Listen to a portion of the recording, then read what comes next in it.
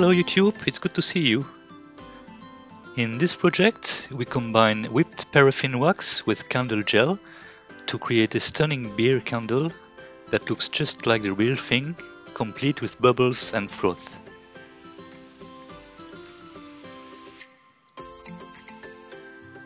So in terms of equipment, you'll need a beer glass, the original one if at all possible, some candle gel and some paraffin wax. Other than that, you will use a double boiler to melt the paraffin wax.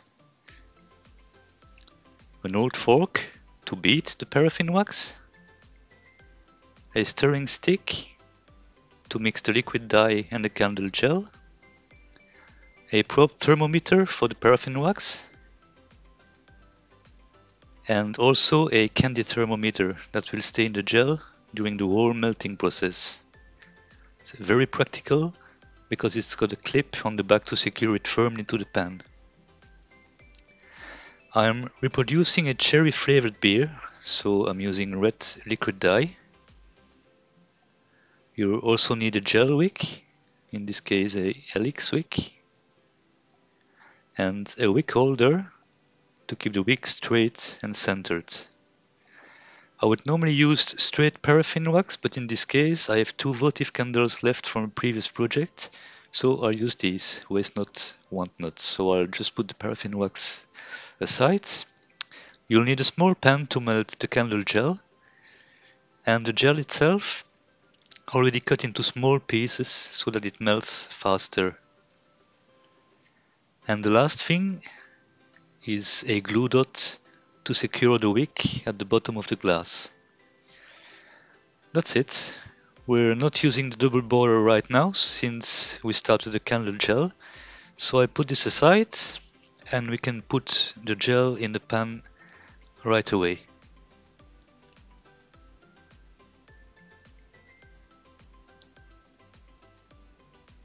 That's all we need. Now let's secure the thermometer.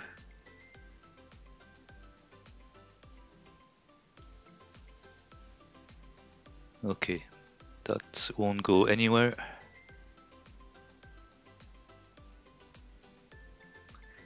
So let's start melting the candle gel.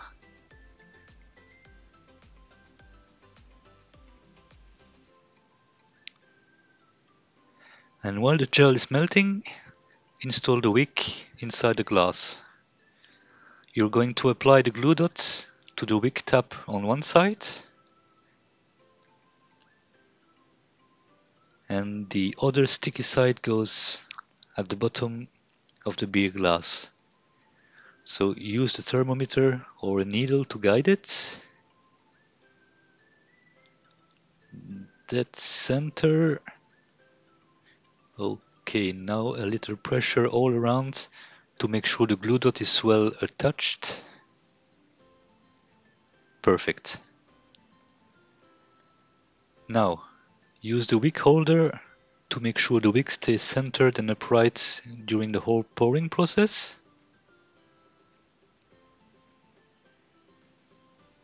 Just like that.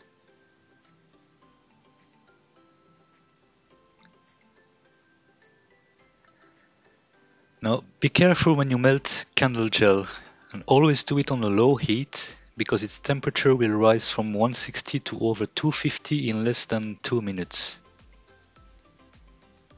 You must know that anything about 270 degrees means danger because the gel can catch fire so keep the heat low, leave a thermometer in the pan all the time and be sure to keep an attentive eye on it. Now the gel is melted completely. Its temperature is around 250 and it's time to add the red liquid dye. I want my candle to be bright red, so I'm not going to be thrifty on the dye. And mix it well with the stirring stick.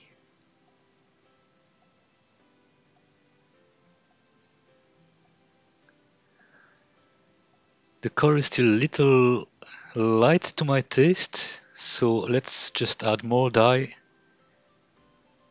and mix thoroughly again.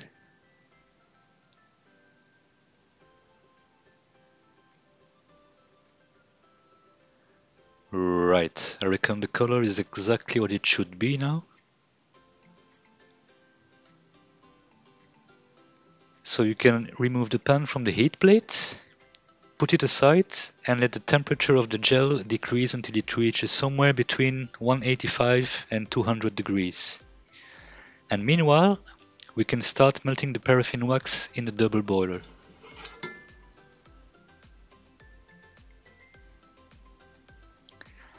The candle gel has now reached a temperature of 185, which is a good pouring temperature if you're not too concerned with air bubbles in the gel. But after all, we're making a beer, so actually it's a good thing.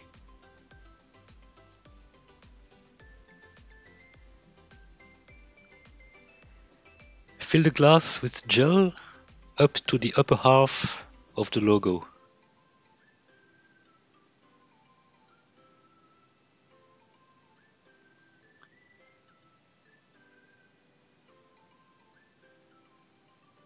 Right, let's try not to... Uh, being a bit clumsy here. But you can very easily peel off gel when it's cold. So as soon as the gel is cooled off, we can remove the wick holder and rid it of any spills. And same goes for the wick and the glass. When done, just put the wick holder back for the next steps.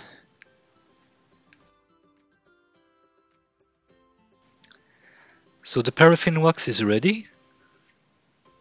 We'll now give it a very light red color, but only a very very light one, so that's less than one drop of liquid dye. And to do that, I'm going to use my stirring stick to add what amounts to half a drop of red dye to the wax. Beer foam, as you probably know, always kind of reflects the color of the beer itself, so if I make the foam pure white, it's not going to look entirely okay. And also, let's not forget that the color of paraffin gets lighter when it cools off. Okay, you can now remove the melting pot from the double boiler and put it aside to cool off until the wax turns cloudy and a surface film appears on the wax, which is a sure sign that it's about to turn solid again. And here you go. As you can see, the paraffin is cloudy and a white ring appears where it touches the melting pot. So now is the perfect moment to start beating it and you beat paraffin wax just like you would beat egg whites. An old fork, some elbow grease. It goes surprisingly fast. In less than one minute you have a foam that looks exactly like beer froth.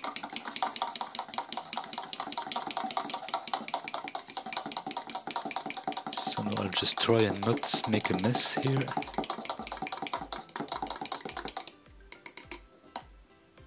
There, perfect.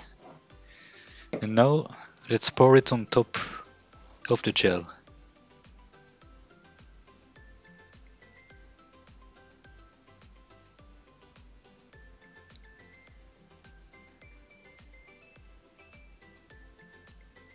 Okay, I just realized I forgot to remove the wick holder.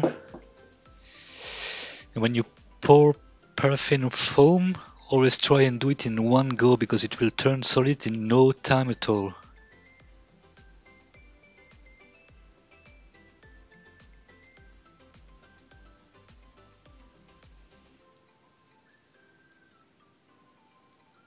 Okay, that's done. The last thing to do is correct any spill on the glass and let the whole candle cool off and harden.